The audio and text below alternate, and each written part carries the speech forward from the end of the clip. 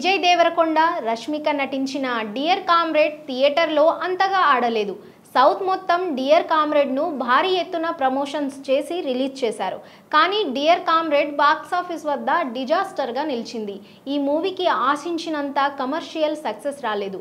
కానీ ఈ చిత్రం ఓటీటీ యూట్యూబ్ టీవీల్లో బాగానే ఆడింది. యూట్యూబ్లో డియర్ కామ్రేడ్ హిందీ డబ్బింగ్కు ఫుల్ డిమాండ్ ఉందని ఆ వ్యూస్ని చూస్తేనే తెలుస్తోంది. గీతా గోవిందం తర్వాత విజయ్ దేవరకొండ రష్మిక కలిసి చేయడంతో డియర్ కామ్రేడ్ మీద మరింతగా అంచనాలు పెరిగాయి. సౌత్లోని ప్రతి ఒక్క ఇండస్ట్రీ నుంచి ఆర్టిస్టులను టెక్నీషియన్లను తీసుకొని సౌత్ మొత్తం గట్టిగా ప్రమోట్ చేశారు. పాటలు బాగా క్లిక్ అవ్వడంతో అందరికీ రీచ్ అయిపోయింది.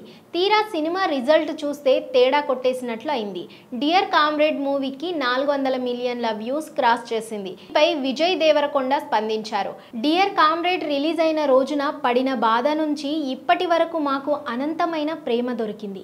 డియర్ కామ్రేడ్ నాకు ఎంతో నచ్చిన సినిమా ఎంతో ఇష్టమైన కథ అని విజయ్ ఎమోషనల్ అయ్యాడు. చివరగా విజయ్ ఫ్యామిలీ స్టార్ అంటూ ఆడియన్స్ ముందుకు వచ్చాడు. కానీ ఈ చిత్రం అనుకున్నంతగా ఆకట్టుకోలేకపోయింది. ఓటీటీలో మాత్రం ఈ మూవీకి మంచి రెస్పాన్స్ వచ్చింది. థియేటర్లో సినిమా వచ్చిన తర్వాత సోషల్ మీడియాలో దారుణంగా ట్రోలింగ్స్కు ఎదుర్కొన్న సంగతి తెలిసిందే.